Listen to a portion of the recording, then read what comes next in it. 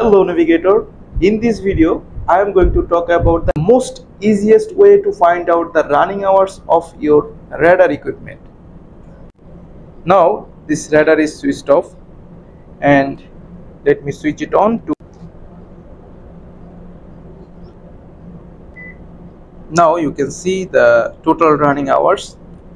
Total operating time of the workstation is 26488 hours of course you can reset it but in this video i'm not going to show about how to reset but thing is that you can see or you can check the running hours or operational hours just by the starting of just by restarting of your radar equipment.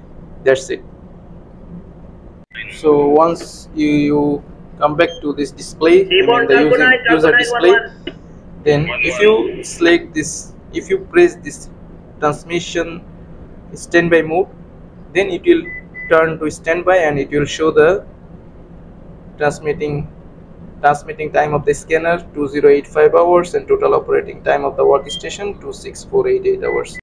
This is i don't find in every model of this uh, JRC uh, radar equipment but in this equipment i can see that this is also available once we press to standby mode.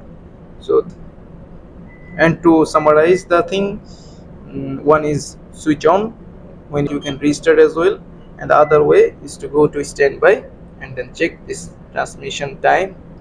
And you can check also the total operation time of the station. That's it. Thank you so much for watching this video and hope to see you in next video